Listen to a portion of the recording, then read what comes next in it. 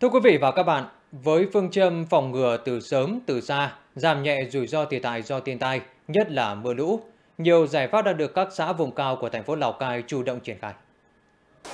Thành lập đoàn kiểm tra các điểm sung yếu có nguy cơ xảy ra lũ ống lũ quét tại khu dân cư giáp sông suối đang được cấp ủy chính quyền xã Hợp Thành chỉ đạo thực hiện.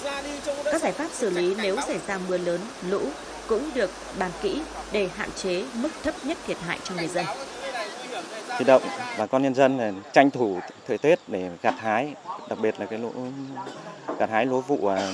châm xuân này thì cũng đã có một số hộ cũng đã gặt hái tuần này tuần sau là cái diện tích thu hạ, thu thì sẽ sớm giảm cái thiệt hại đến à, cái mức thấp nhất. Tối 30 tháng 5, trên địa bàn xã Hợp Thành xảy ra mưa kèm rông lốc mạnh, nhưng do người dân được cập nhật thông tin thời tiết sớm, chủ động các phương án phòng tránh nên chỉ có 38 hộ dân bị ảnh hưởng nhẹ về nhà ở và hoa màu, tổng thiệt hại khoảng 80 triệu đồng, đặc biệt không có thương vong về người.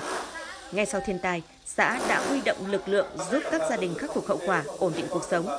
Cùng với nâng cao nhận thức cho cộng đồng về phòng chống thiên tai, Hợp Thành đang đẩy nhanh tiến độ giải phóng mặt bằng cho khu tái định cư Nậm Rịa, sớm di chuyển 22 hộ dân ra khỏi khu vực nguy cơ sạt lở. Thì trong tuần này thì chúng tôi tập trung các lực lượng để tuyên truyền vận động nhân dân và mời các cái hộ để đến nhận tiền bồi thường để làm tốt công tác giải phóng mặt bằng. Và chúng tôi phấn đấu đến 31 tháng 8 là chúng tôi hoàn thành các cái mặt bằng kỹ thuật để bàn giao ờ, mặt bằng cho nhân dân để xây dựng nhà ở, phòng tránh được nguy hiểm do thiên tai bão lũ. Qua giả soát, hiện toàn thành phố có 117 điểm có nguy cơ ngập úng, lũ ống, lũ quét.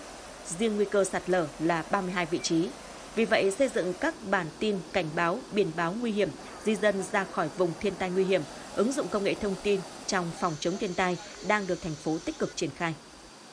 Không lơ là và mất cảnh giác, do vậy chúng tôi vẫn tiếp tục thường xuyên chỉ đạo các ban phòng chống các xã phường tập trung kiểm tra giả soát những nơi trọng yếu để kịp thời di chuyển cho các hộ dân ra vùng an toàn, thành lập uh, nhóm Zalo để hàng ngày sau khi có những cái thời tiết mà do ban ờ, thời tiết cung cấp kịp thời để chỉ đạo các cái địa phương của mình để làm sao để hạn chế được những cái thiệt hại của người dân. Nhờ chủ động xây dựng các phương án phòng ngừa từ sớm từ xa, vì vậy từ đầu năm đến nay, dù xảy ra 4 trận rông lốc mưa đá, nhưng thành phố không có thiệt hại về người. Công tác thăm hỏi khắc phục hậu quả thiên tai được triển khai kịp thời, giúp người dân, nhất là các hộ người dân tộc thiểu số, sớm ổn định cuộc sống.